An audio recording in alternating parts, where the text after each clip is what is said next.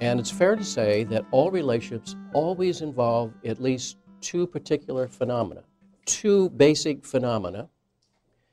The first is projection, and the second is transference. Now, we can argue about this, but they're present in all relationships. And part of the reason is we have to remember this elemental fact that the other is always, always a stranger. Even after great familiarity, the other is always a stranger. How could we presume to know another person if we don't know ourselves? And no one here knows oneself. It's, it's an infinite continent, too large to explore in such a short lifetime. And how could we ever know the other? And one of the ways in which our psyche works is, is it's anxious when it comes to the unknown. And it tries to fill the gap between this and the other with what is known.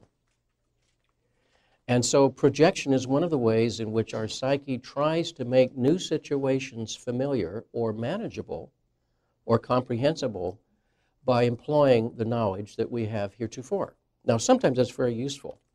So if you wind up in a strange city, there's a chance you'll be able to find your way around there just because you'll start looking for points of reference and you'll, you'll have some tools ranging maybe from phone to the capacity to read a map or talk to a stranger. These are, these are all useful tools.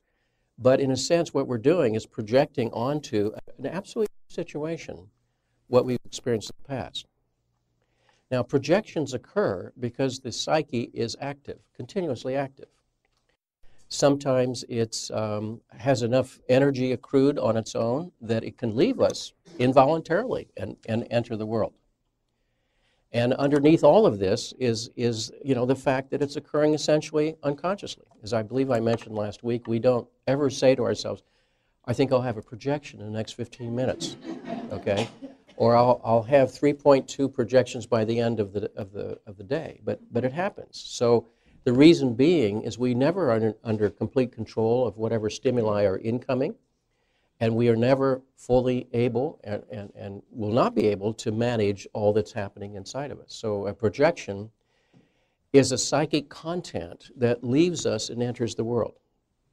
And the psychic content is, is um, something that often attains or carries with it or adheres to it a provisional sense of self, uh, a script, an expectation, potentially an outcome.